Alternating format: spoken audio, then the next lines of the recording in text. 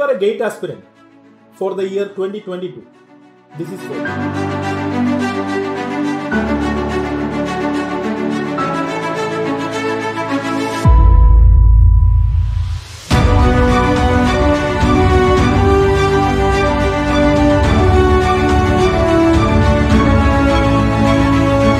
Definitely, I will recommend Manifold to all future aspirants.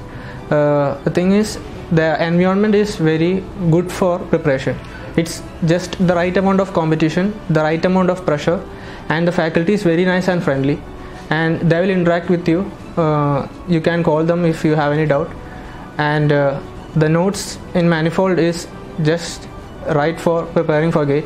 It's it's enough. You don't need to refer any other books and uh, you don't need uh, to go to textbooks and all uh, the note will have everything